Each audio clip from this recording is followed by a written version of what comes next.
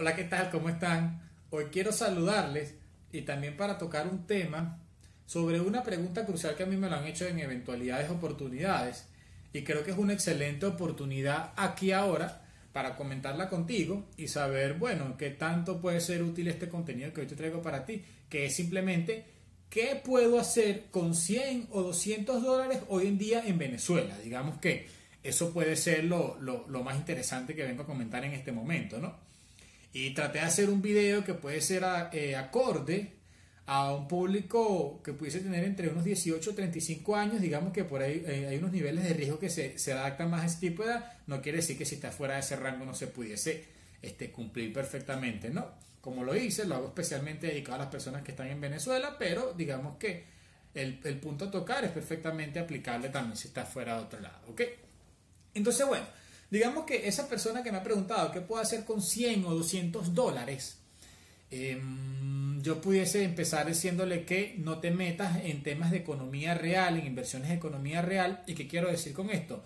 No te voy a recomendar, yo Eduardo Vargas personalmente no te voy a decir que empieces a comprar un determinado bien para producir otro bien o un proceso de fabricación de un producto, porque la inversión es muy pequeña para lo que puede generar como producción total, entonces digamos que el periodo de retorno se va a complicar un poco más y creo que los márgenes de ganancia no, no, son los preferibles para mí, por eso te digo es una percepción personal.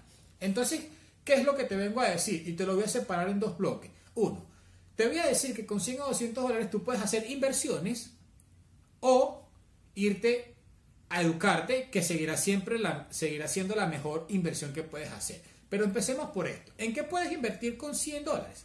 O si tienes 200 dólares, ¿qué puedes invertir? Bueno, invierte en criptomonedas.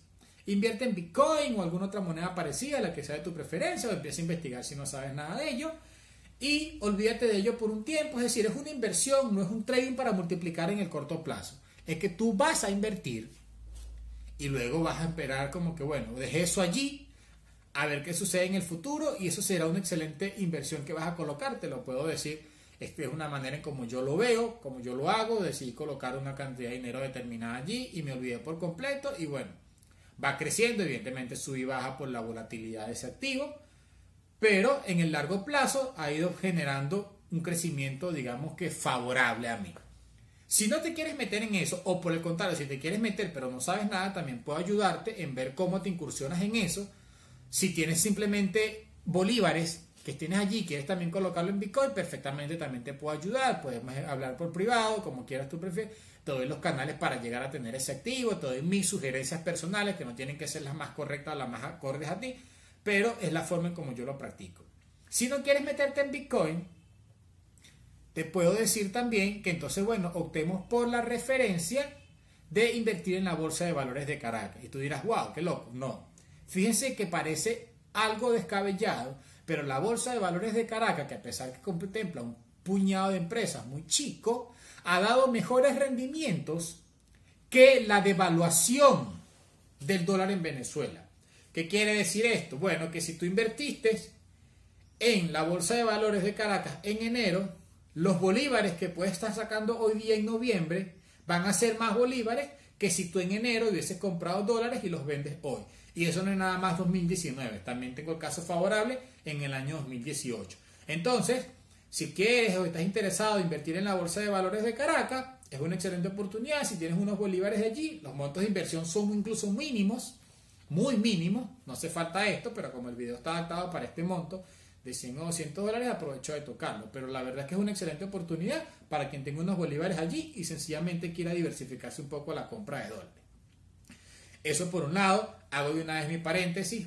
Eh, si quieres incursionar un poco más en esto, también te puedo recomendar buenos amigos que están trabajando en casas de bolsa para que ellos te guíen y te orienten a la perfección. Pero si tu idea no es invertir o no quieres ser inversionista en este momento, sino que quieres formarte o educarte, también te voy a dar algunos consejos que también son inversiones. Vuelvo y repito, como lo dije al inicio, la educación siempre será la mejor inversión y yo te voy a dar en qué tú puedes invertir en educación en este momento en Venezuela para que le saques algún rendimiento. Y como voy a mencionar el concepto de en qué se puede educar, si tú quieres que yo te especifique un poco más qué institución te recomiendo, te aconsejo que vayas inmediatamente al ver este video a mi otra cuenta de Instagram que es arroba sin corbatas o arroba sin piso corbata, donde estoy mencionando las instituciones que personalmente yo he utilizado o que personas de confianza han utilizado y te puedo decir que el contenido que vas a aprender allí es fenomenal, ¿ok? Entonces, pasemos a ese bloque. ¿Qué te recomiendo? Que tú inviertas en 100 o 200 dólares. Bueno, que aprendas sobre cocina, pastelería o panadería. Aprende habilidades que evidentemente serán básicas como quieras llamarlo y dependerá de ti qué tanto alargue puedas darle, pero es habilidades muy demandadas que hoy en día incluso con las redes sociales o los medios de comunicación digital se están explotando muchísimo. Te recomiendo marketing digital, que aprendas sobre marketing digital. Esto es un mundo, y hago ese paréntesis, esto es un mundo gigantesco, no crees que marketing digital es simplemente hablar de redes sociales o hablar de Facebook, marketing digital es amplio, es la carrera o una de las carreras con más demanda actualmente y que seguirá aumentando su demanda porque cada vez nos estamos comunicando más por esta vía. Entonces una excelente oportunidad y sobre todo que si estás en Venezuela puedes apalancarte en este conocimiento para brindar tus servicios fuera, que sigue siendo incluso más demandada incluso en Latinoamérica.